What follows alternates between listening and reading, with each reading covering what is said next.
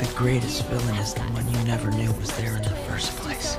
You said that. Oh, yes. I'm the criminal mastermind. How could I have done this? Do you realize how silly you're sounding?